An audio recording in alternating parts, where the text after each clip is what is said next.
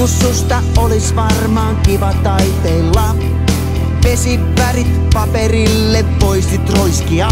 Mut jos vauhdikkaasti värittää, niin reunat unohtuu. Ja pöytäliina valkoinen se kirjavaksi kohta muuttuu.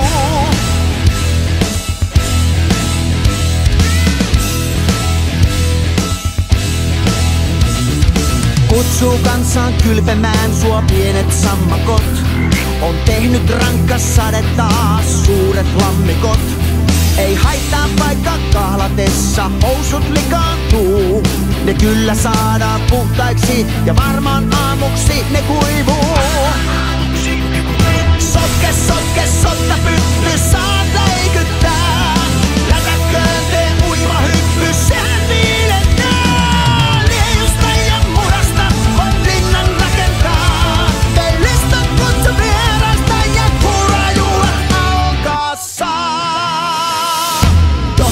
kauheen hankalaa on syödä siististi. Kädessä ei lusikka pysy nätisti. Silloin soppaa vaatteille voi vähän läikähtää. Mutta voit sen uskoa, varmasti ne kaikki pestään.